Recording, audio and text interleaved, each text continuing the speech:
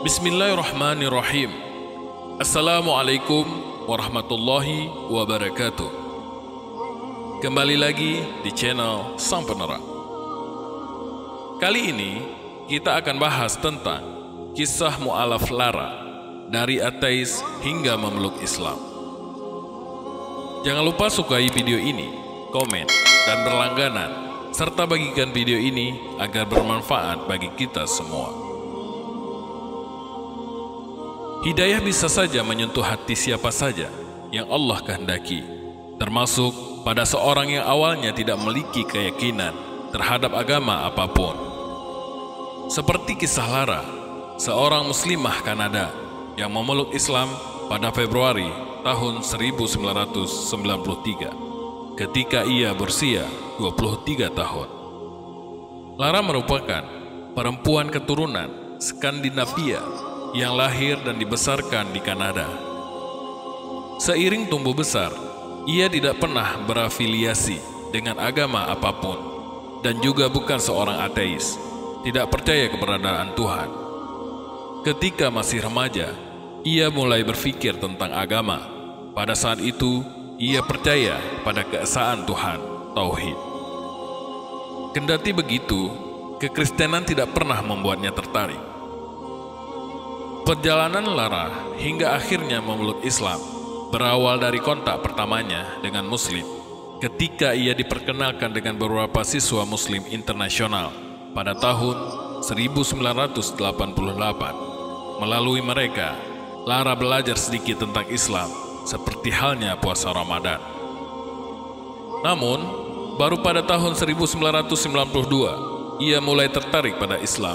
Pada musim panas tahun itu, sebuah surat kabar Kanada menerbitkan serangkaian artikel yang menyerang Islam dengan menggunakan contoh perilaku anti-Islam dari beberapa Muslim dalam upaya menjelekkan Islam. Kala itu, Lara memiliki pemikiran bahwa non-Muslim cenderung menilai Islam atas dasar perilaku yang belum tentu Islami dari orang Muslim. Saat itu, Lara belum menjadi seorang Muslimah namun, artikel tersebut dinilai sangat memalukan sehingga ia mengirimkan surat ke editornya untuk membela Islam. Hingga perlahan ia memiliki rasa penasaran tentang Islam. Lara kemudian membaca kembali beberapa artikel yang ia ambil beberapa bulan sebelumnya dari pajangan MSA Islam Awareness Week di universitasnya. Salah satu isi artikelnya memuat tentang Isa sebagai nabi Islam.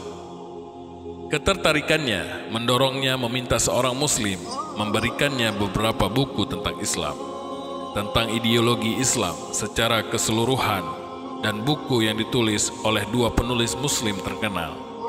Lara mulai terkesan dan semakin penasaran dengan Islam. Selama beberapa bulan berikutnya, ia kerap mempelajari tentang Islam dari buku-buku Islam yang otentik di sela-sela waktu luangnya saat kuliah. Salah satunya buku berjudul The Life of Muhammad Sallallahu Alaihi Wasallam karangan Dr. Muhammad Haikal. Lara berpikir mempelajari kebenaran tentang Islam tidak bisa diperoleh dari media massa.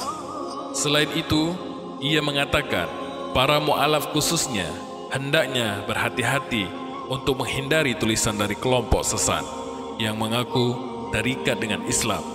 Ia berpandangan hanya karena penulisan memiliki nama Arab tidak selalu berarti dia adalah seorang Muslim yang berpengetahuan atau bahkan Muslim sama sekali.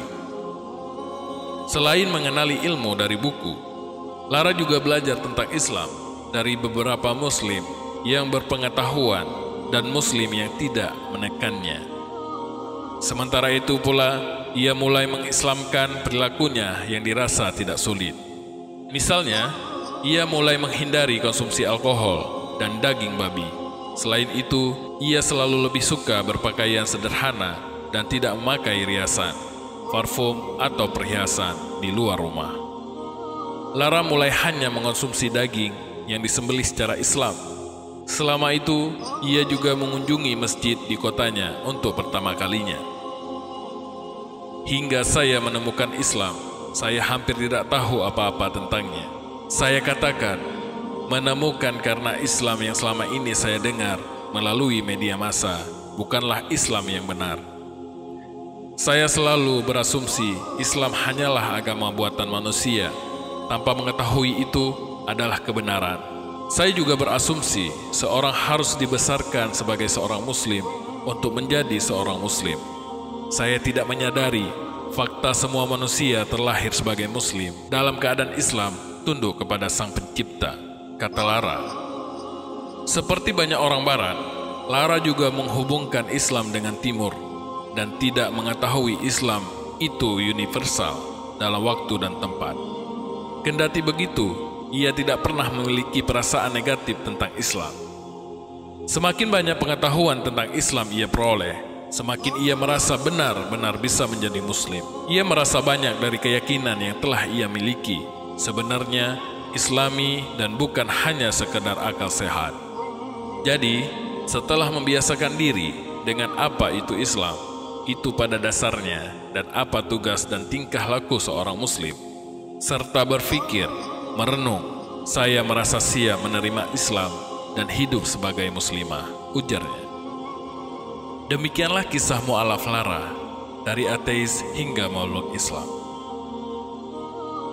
Akhiru kalam, subhanakallah wa bihamdika, asyhadu an la illa anta, astaghfiruka wa atubu ilaih.